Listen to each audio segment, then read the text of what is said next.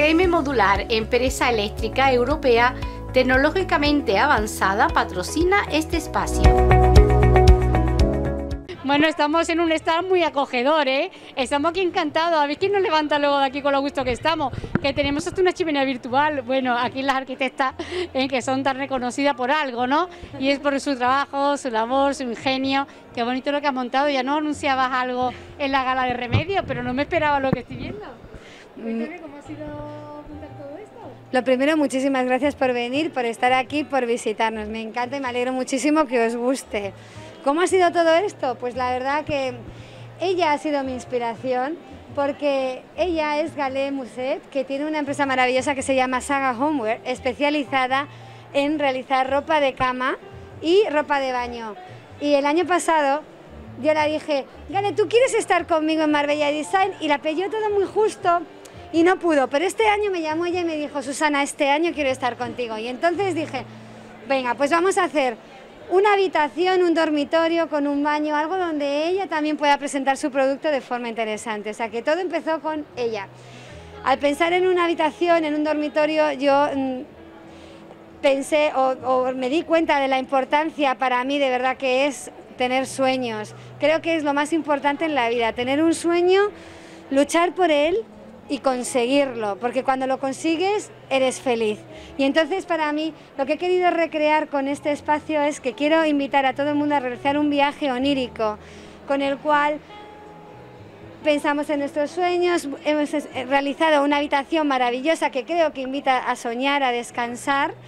De aquí he creado luego un vestidor también muy bonito que lo comparo con ese momento de la lucha. Sí que son tres espacios en uno, ¿eh? Son tres espacios en uno. En el vestidor, pues es ese momento en el que te estás cambiando, que hay mucho movimiento. Y yo lo comparo con ese momento de lucha, ¿no? Cuando, cuando tienes un sueño, tienes que luchar por él, tienes que ser resiliente, tienes que. No te, puedes, eh, no te puedes dar por vencida en la primera dificultad. Y luego, cuando ya por fin consigues alcanzarlo, te sientes feliz y en paz. Y por eso he realizado un baño que es un oasis, donde también hay una chimenea, donde hay una obra de arte, donde hay una maravillosa ducha de masajes.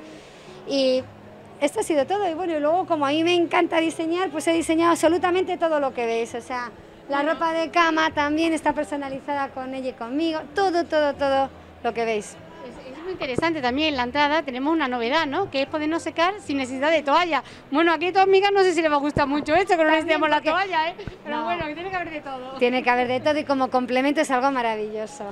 imagínate que tenemos invitado en casa y no queremos sacar nuestras toallas pues la ponemos aquí en este secador y ya, está. Y, ya está. y dejamos nuestras toallitas ahí guardadas. Luego os lo enseñaré porque es maravillosa.